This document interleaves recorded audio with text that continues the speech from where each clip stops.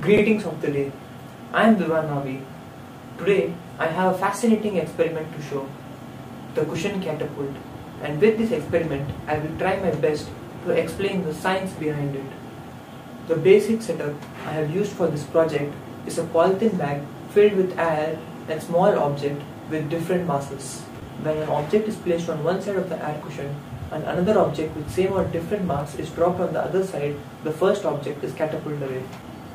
Let's see this with an example. Let's use a pencil sharpener and an eraser first.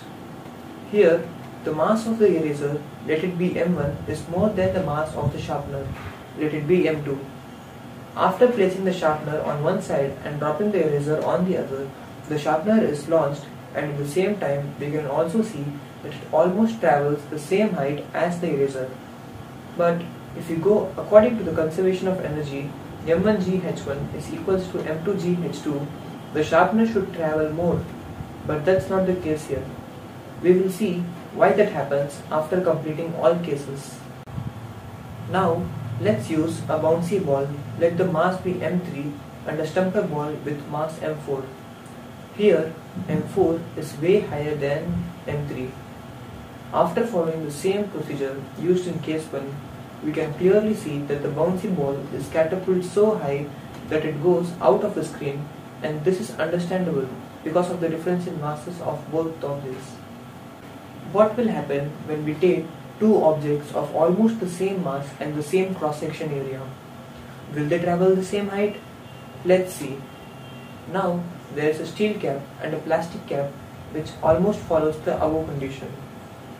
Let's look at two cases simultaneously where we change the dropped object and the catapult object. Here, after dropping the two different objects from the same height, we can also see the other two launched objects reaching the same height. Now, let's see the science behind it. We can use conservation of energy here, but it should also include energy lost due to air resistance, sound and heat. Therefore, we could not get the desired results in experiment 1 and 3. Therefore, we can say that M1GH1 is equal to M2GH2 plus energy lost and M3GH3 is equal to M4GH4 plus energy lost. Thus, we can find the energy lost by taking measurements of masses, initial height and gained height of the objects. The important principle due to which the above experiments worked is Pascal's law. Pascal's law states that any change in pressure applied to one part of a confined fluid results in an equal change in pressure throughout the fluid.